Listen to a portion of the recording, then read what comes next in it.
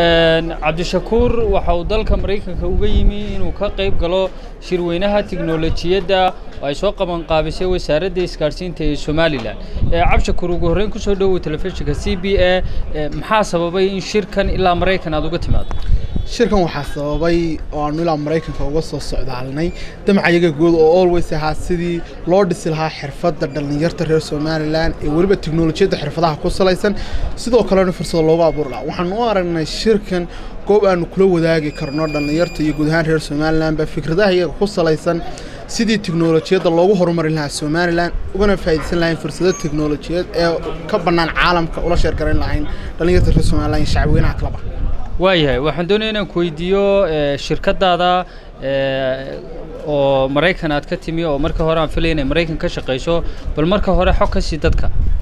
Shirkadda iyadu walaal waa shirkad shaqaalaysineed tababaro iyo la talineed oo ka dhisan dalka maraykanka.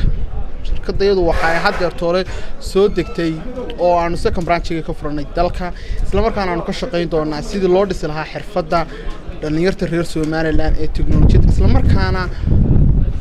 loogu loogu abuuri lahaa loonana raadin lahaa shaqoolo shaqooyin heer qaran oo dalka dhexdiisa ah iyo kuwa heer caalamiba oo international ah. Waayahay marka laga hadlayo somalilan gudaheeda ama soomaalida kaleba ha noqotee dhallinyartu waxay ka cawdaan shaqo la'aanta ama waddamadaba ha noqotee soo koraya laydhahaaye idinku shaksiya maadaama dhallinyaro laftarkiinu tihiin. Maxay shirkaddiinu ka qaban karaysaa shaqo la'aanta? Shaqalaanta waxaanu ka qaban karaynaa inaanu la wadaagno dhallinyarta reer somalilan resourciga iyo sourciga meelaha shaqaalaha looga baahan yahay. Dhallinyarta ugu badan reer somalilan laba wax ayaan aaminsanahay ama sida ii sheeg. International labor kuba sheegay boqolkiiba todobaatan aqoon la'aan. Sida oo kale iyagoo aan ahayd aqoon teknolojiyadda maantana dunidu waa technology ta koowaad waxaanu dhisaynaa xirfadahooda skillskooda skills development ama software skills ahaadaan ama ahaadaan dhanka teknolojiyadaba sida oo kale waxaanu ka caawin doonaa in aanu u noqonno face inaanu u raadino shaqooyinka caalamka ka bannaan iyo fursadaha kale ee adduunka bannaan iyo kuwa dalka dhexdiisa ka bannaanba sidii aan ugu xidhi lahayn. Aanu bridge noqon isku xidhna dhallinyarta reer somaliya dhallinyarta guud ahaan soomaalidaba ee shaqaale la'aanta ah iyo dadka shaqaalaha raadinaya. Caalamka dalal badan ilaa haddeer talo waa bilaa shaqaale. Kamaniyo badan oo caalam waxaa loo xidhayaa shaqaale la'aan innagoo taa ka faa'iidsanayna waxaanu ku xidhi karnaa dhallinyarta dalkeenna bilaa shaqaalaha ee bilaa shaqada ah. Kamaniyada caalamka ee shaqaalaha raadinaya. Waaye maraykan baa joogtaan idinku waa ka shaqaynayseen dhallinyarteennuna waxay u badan yihiin inay hargeysa joogaan ama somalilan magaalooyinkeeda kale sida barco iyo la mida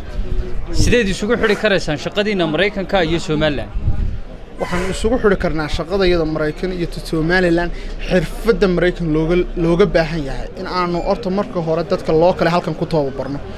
isla markaas marka qofkii xirfaddii isagoo haysta oo xirfaddii ku tababaran in aanu uga heli karno fursaddii caalamka kale. Ama noqoto maraykanka aanu degannahay ama dal kaleba ha noqoto in fursadaha bannaanaada caalamka ka bannaan maraykan waxaa ka shaqeeya boqolaal kun oo ah indiyaan bakistan philippines oo ku yimi hab shaqo sababta qura ee maraykan lagu tegi karaa maraykan lagu shaqayn karaa ma aha in aad guursatidun ama in faamiligaagu joogo. Ama balse adiga oo shaqaysanaya oo skill leh ayaad ku tegi kartaa oo ka shaqayn kartaa oo aad si lamida kuwa dalka u dhashay uga shaqaysan karaysa. Waayahay mar dhowidoo shirweynaha intii lagu guda jiray aad presentation soo jeedinaysay waxaad xusaysay inaa wada shaqaynayna ka dhexayso jaamacad magaalo maraykanka ka mida ku taalla bal in yar dadka faahfaahin ka siiya ha walaal jaamacad maraykanka ku taalla gobolka north dakota ayaa wada shaqayn naga dhexaysa. Haddeer toole oo aanu koorasyada jaamacadda lagu bixiyo ee teknolojiyadda ah aanu ku bixin doonaa hargeysa aanu keeni doonaa koorasyadaasi inay hargeysa ka baxaan oo dhallinyarta hargeysa ka faa'iidaystaan koorasyadaas oona koorasyadaasina waxa weye koorasyada loo dhigayo ardayda maraykan koorasyo la mid ah. Insha allahna waxaanu jecel lahay in dhallinyaro aada u badan ka faa'iidaysantaan aan rajayn doonaana hadda endigana shaqooyin naftooda iyo dalkaba anfaca ku helaan marka shirka laga yimaado maxaad u sidaa dhallinyarada somalilan dhallinyarta somalilan wixii ugu weynaa ayaanu wadnaa. Waxaan u wadnaa soma employment solutions waxaanu u wadnaa hadaf ah in shaqaale la'aanta dalka ka jirta aan la dagaalamano hoosna u dhigno intii taraanka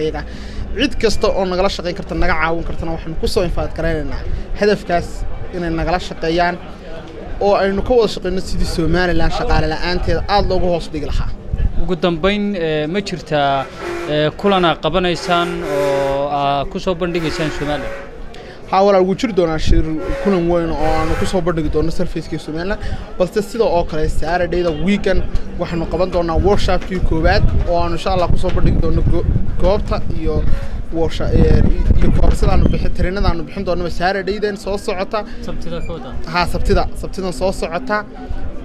bejajkaanu ku leenay social mediaha iyo website-kaygaba oo ah somo employment social mediaha oo dhan twitter ama instagram facebook sida oo kale website-kayga waxaanu ku qaban doonaa hargeysa insha allah howlka hay'adda shaqaalaha insha allah aad baa mahadsantahay